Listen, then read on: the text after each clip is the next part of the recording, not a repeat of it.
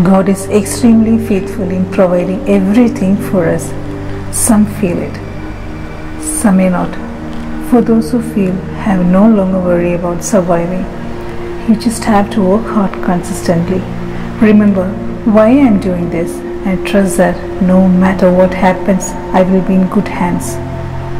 We are so grateful to be alive in this era because there isn't a traditional career path that really suited for all. Prepare your mind to go with the flow as it comes.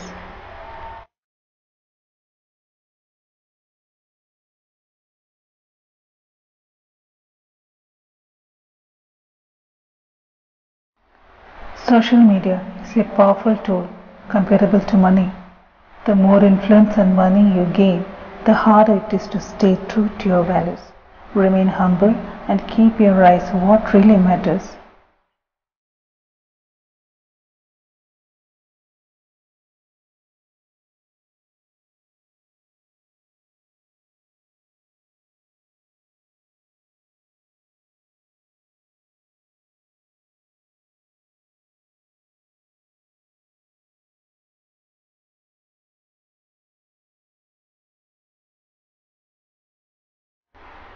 That is why my number one advice for becoming influencer is to first determine your message.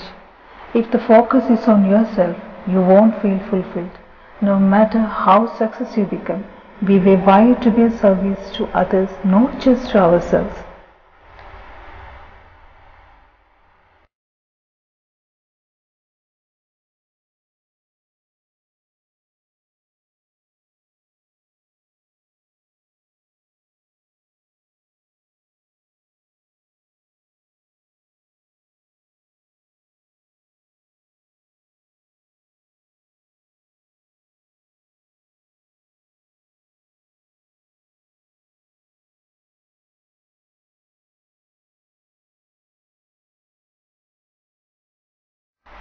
Before you start, really ask yourself what I am trying to provide, and if you can't answer that, hold off.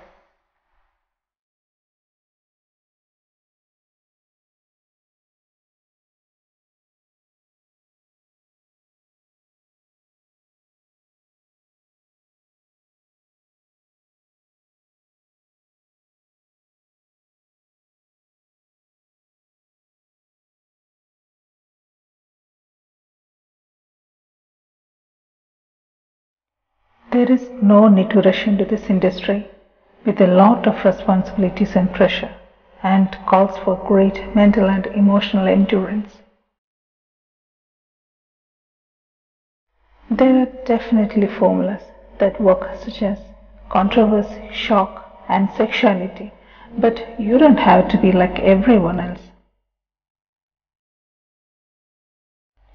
You can't affect positive change if you are just going to keep popular culture. I was hesitant to go to YouTube because I knew that it is saturated with toxic drama, shock value, and shallowness. But the more I thought about it, the more I felt compelled to redeem this platform. Rather than contributing to chaos, I wanted to create a devotional channel that feels like a refreshing oasis for people who are hurting and overwhelmed. I speak calmer, softer, and more intentionally in these videos because I know that many of you tend to watch them after a long day of work or before you fall asleep. I try to keep my visuals as pleasant and untiring as possible to create a peaceful and healing space for you.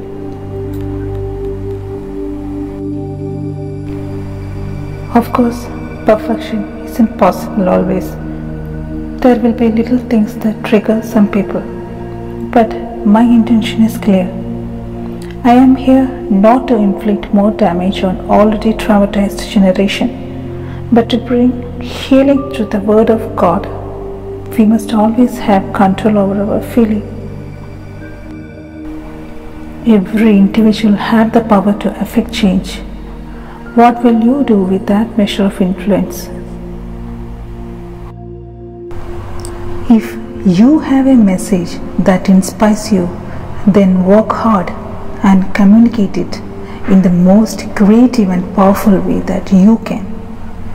Let the world hear you. Bye for now. See you all next week with another video. Thank you.